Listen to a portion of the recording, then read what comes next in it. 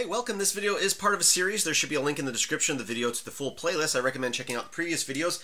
Again, I'm using Scratch Online at scratch.mit.edu, uh, which uh, I'm just using this because I figured it'd be quick for people to start off. But if you're really going to start using Scratch, I do recommend downloading the uh, the full version. It does run on Windows, Mac, and Linux. Um, I say full version download the desktop version, the laptop version, uh, just because this is using Flash. Flash is slowly dying, um, and I really recommend not using it. I'm only using this just because, again, to make it easy for people who are first coming to Scratch, uh, but I definitely recommend downloading a copy if you can. Um, so today we're going to look at changing how our sprite looks. So again, this is our sprite. Any 2D object in the game is a sprite. So this is our cat is a sprite. And if we go to costumes, you can see that there's two different uh, costumes for the cat. You know, I guess it's kind of supposed to be like a walking animation. His legs are different. Um, but let's go ahead and get rid of these. I guess you have to have at least one there. But you have options up here. You can, uh, uh, if you have a camera hooked up, take a picture with a camera. You can upload a picture. You can draw your own. Or if you go here, you can choose a, cost a costume from the library where they have a bunch of images already set up for you which is great. And they're broken down into categories, so uh, or themes. So let's go to animals, and I'm going to grab this bat here. So I'm going to say, okay. So we have the cat and the bat, and you can switch between how they look. Now let's go back to scripts. So again, we were in costumes, now we're in scripts. And I'm going to say that I want the game to start, I want him to start off as a cat and then change to a bat. So what I'm going to do is I'm going to say event, and I'm going to say when that is clicked, then over here under looks, we can choose how he looks. And I'm going to say switch to costume, bat A. So you er, so bat A or costume 2 as the cat is labeled.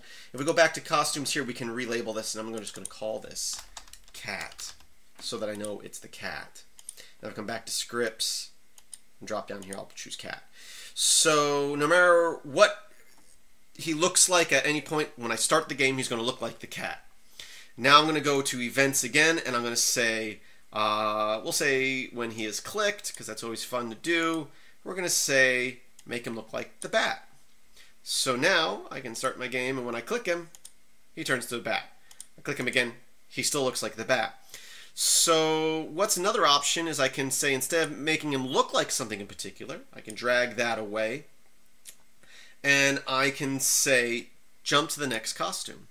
So it's just going to go forward in order. So I'm going to say start this. He's the cat when I click start, and when I click him, he turns to the bat. If I click him again, he goes to the cat, and then every time I click him, he goes back and forth. So I guess it's a cat turning into a bat. Another option would be we can remove the cat image. We can go back to our library here, animals, and we can choose bat B and say open. And now when I start the game, well, let me go back to scripts here. Uh, cat no longer exists. So let's go ahead and just say he's bat A when we start. Boom. And now when I click him, every time I click him, it's, it's like he's flying. So we can have him look like he's flying every time I click him, he's flapping his wings. Or, like in previous videos, we can go to event or controls and say forever. So we can start him off as one and say next. And when I click start, he's going to flap his wings, but you can see he's flapping really, really quick. I'm not even sure if the screen recorder, it might look slower in the screen recorder because it's recording at a lower frame rate, but he's flapping really, really fast right now. Let's go ahead and stop that. So what can we do? Uh, well, uh, somewhere, it's probably going to be under uh, sensors, right? Uh, motion. I'm looking for something that says wait, and I forget where it is.